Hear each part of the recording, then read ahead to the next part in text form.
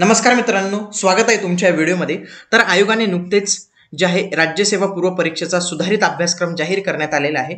यात सीसॅटमध्ये काय बदल झालेला आहे या सर्व बाबी आपण आजच्या या व्हिडिओमध्ये बघणार आहोत. तर स्कीम ऑफ एक्झामिनेशनमध्ये बदल केलेला आहे. पेपर वन आता कंपल्सरी असणार आहे आणि पेपर टू हा आता क्वालिफाईंग नेचरचा असणार आहे. गुण वेळ सर्व सारखंच ठेवलेलं आहे. मीडियम नेचर ऑफ पेपर हे सर्व सारखं आहे. परंतु पेपर टू आता क्वालिफाईंग करण्यात आलेला आहे. इथं आयोगाने एक महत्त्वाची टीप दिलेली आहे. ते महत्त्वाचं आहे. आयोगाने असं सांगितलं की सामान्य अध्ययन पेपर क्रमांक दोन ज्याला आपण सीसॅट म्हणतो तो आता क्वालिफाईंग नेचरचा असणार आहे आणि त्याच्यात आपल्याला तेहतीस टक्के गुण मिळवणं आवश्यक असेल.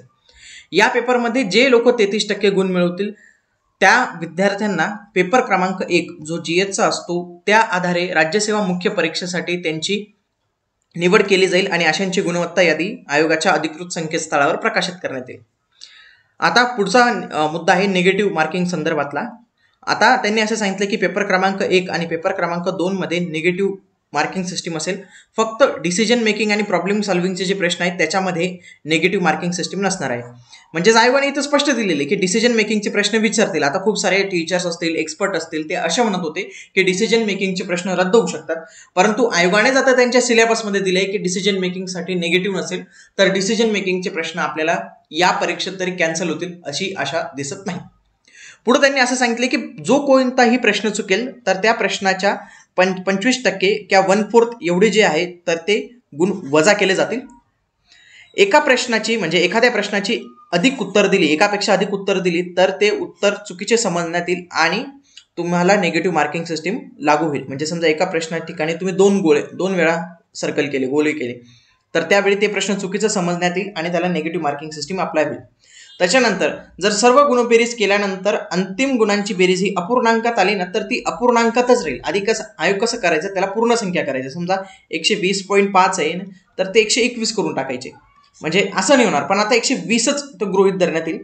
तसेच ज्या प्रश्नाचे उत्तर तुम्ही देणार नाही ना स्किप करणार नाही ना तर त्याला निगेटिव्ह सिस्टीम लागू होणार नाही. आता सिलेबस काय दिलाय तो बघूया. पेपर वन जो दोनशे क्रमांकासाठी असणार आहे त्याच्यामध्ये पहिला मुद्दा आहे करंट इव्हेंट्स म्हणजे current affairs state national international history of India विचारले भारताचा इतिहास त्याच्यामध्ये महाराष्ट्राच्या संदर्भासह आणि भारतीय राष्ट्रीय चळवळ. पुढे महाराष्ट्र इंडिया आणि वर्ल्ड जॉग्रफी सेम ठेवलेलं आहे. Physical social economical geography of Maharashtra India and the world Maharashtra आणि Bharat polity and governance constitution political system panchayat raj urban governance public policy right issues म्हणजे ओव्हरऑल जर बघितलं ना तर G S one हा same ठेवलेला आहे. म्हणजे आधी जसं होता ना सेम ठेवलेला आहे. हां. आता सीसॅटमध्ये काय बदल केलेला आहे तर ते बघणं गरजेचं आहे. सीसॅटमध्ये कॉम्प्रिहेन्शन आहे आहे. कॉम्प्रिहेन्शन म्हणजे पॅसेजेस ओके पॅसेजेस ठेवले ठेवलेत. Okay intrapersonal skill including communication skill okay तसंच आहे. Logical reasoning and mental ability तसंच आहे. डिसिजन मेकिंगचे प्रश्न आहे ज्याच्यावर सगळ्यात जास्त एक्सपर्ट म्हणत होते की हे कॅन्सल होणार आहे आता. पण हे इथं आयोगाने इथं स्पष्ट दिलेलं आहे. म्हणजेच या वेळीच्या परीक्षेमध्ये आपल्याला डिसिजन मेकिंगवर प्रश्न दिसणारच आहे. कारण की आयोगाने तिथं स्पष्ट म्हटलं आहे त्याच्यानंतर general mental ability basic numeracy Marathi and English language comprehension skill म्हणजेच काय होईल जास्तीत जास्त प्रश्नांची संख्या इकडे तिकडे होऊ शकते. पण जो पॅटर्न असणार आहे तो सेमच असणार आहे. प्रश्नांची संख्या इकडे तिकडे होऊ शकते. म्हणजे कॉम्प्रिहेन्शनचे म्हणजे पॅसेज कमी होऊ शकतात. त्याच्यानंतर पॅसेजवर पाच प्रश्न विचारले जातील तर तिथं तीन हो करण्यात येतील दोन करण्यात येतील चार करण्यात येतील. पण पॅटर्न सेम असणार आहे. डिसिजन मेकिंगचे पण इथे दिलेले आहे.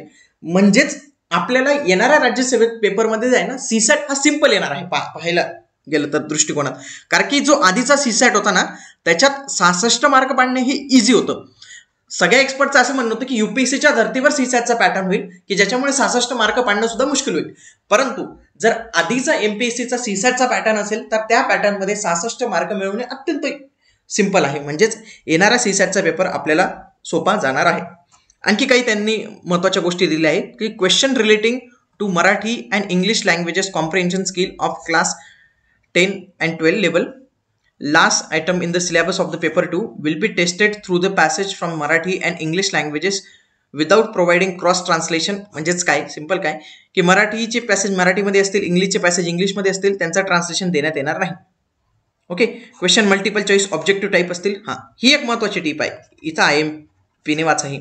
It is mandatory for the candidate to appear in the both papers of the state services prelims examination for the purpose of evaluation therefore the candidate will be disqualified in case of he or she does not appear in the both papers of the म्हणजे असं नाही की तुम्ही म्हणाल की मी जी एचच्या पेपरला जाऊन येतो सी सॅटच्या पेपरला जाणार नाही तर दोघी पेपरला जावं लागेल नाहीतर तुमची गुणपत्रिका जाहीर केली येणार नाही तर अशा पद्धतीने हे सर्व बदल होते ओके तर येणाऱ्या राज्यसभेत जर हाच मागचा पॅटर्न लागू राहिला तर सहासष्ट मार्ग पाडणे काही एवढं अवघड नाही आहे युपीएससीच्या धर्तीवर जर झालं तर त्याच्यात सहासष्ट गुण भेटणं सुद्धा मुश्किल होऊन जातं युपीएससीच्या धर्तीवर.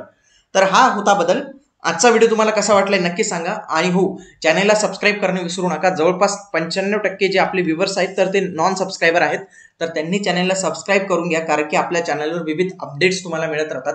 त्याच्यानंतर इंडस्ट्री इन्स्पेक्टरचा आपला कोर्स चालू आहे तो सुद्धा तुम्हाला आपल्या या चॅनलवर भेटणार आहे.